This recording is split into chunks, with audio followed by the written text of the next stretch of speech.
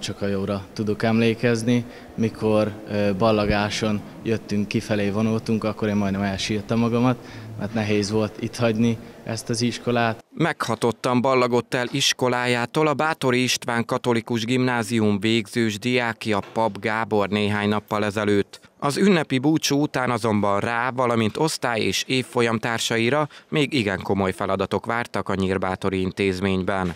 Hétfőn kezdődtek az érettségi vizsgák. A tanulóknak az első írásbeli napon magyar nyelv és irodalomból kellett számot adniuk tudásukról. Átnéztem fontos dolgokat, például novella elemzést átnéztem, egy érvelést hogyan kell elkészíteni.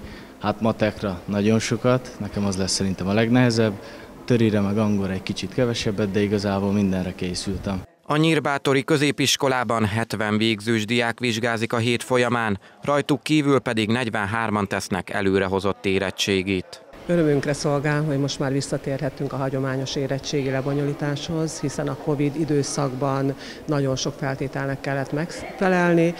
Most már a gyerekek, akik középszinten érettségiznek, előzetes beosztás szerint tantermekben várják most már, hogy megkapják 9 óra akkor a, a feladatlapokat és dolgozhassanak rajta. Országos szinten egyébként középszinten több mint 72 ezeren, emelt szinten pedig 1771-en érettségiztek magyar nyelv és irodalomból hétfőn.